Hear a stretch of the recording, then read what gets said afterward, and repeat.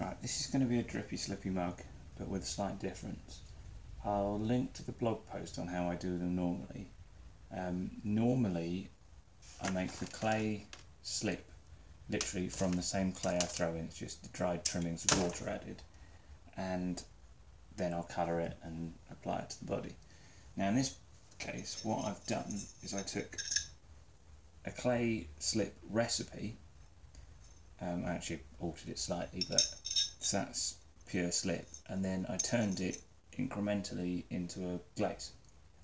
I mean, it's slightly underfired still, but broadly speaking, that's a semi-glossy glaze, and then in increments. So the closer it gets to that, the more vitrified and glossy it will become, and the further away this end it's still slip. So I'm going to use something kind of probably probably that one. I think I'm testing this one at the moment, but it'll be one of those two, I think. And what that means is you get a semi-glossy slip um, rather than just a pure slip. I'm not sure it's going to work, but um, here it goes. So what you need to do is have thrown a piece and let it dry for a few hours. I threw this this morning and have a pre-made handle. I extrude mine. You can actually buy the extruder dies that I use. I got a set, a few sets of them made by a laser cutting company.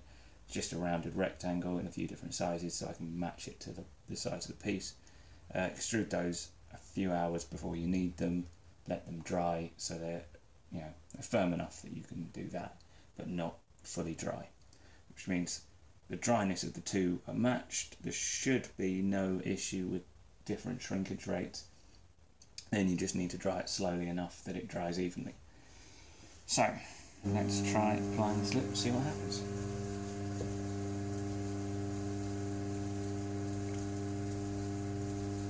These giant syringes come, well I get them from Amazon.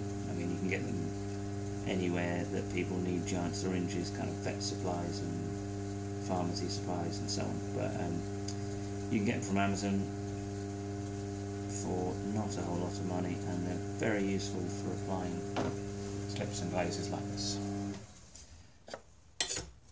In theory, the handle can be attached using just the slip on the piece actually.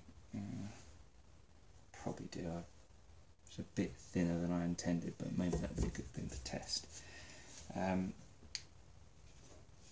the slip will stick the handle in place. You don't actually need to do anything else. You don't need to score it. I mean, it probably would be preferable, but um, at this stage you can't. So it's easiest to find the best spot to attach it and just attach it like so. Um, the slip will hold it in place and the normal slip at least would attach it permanently as well as it would if you scored and slipped it normally.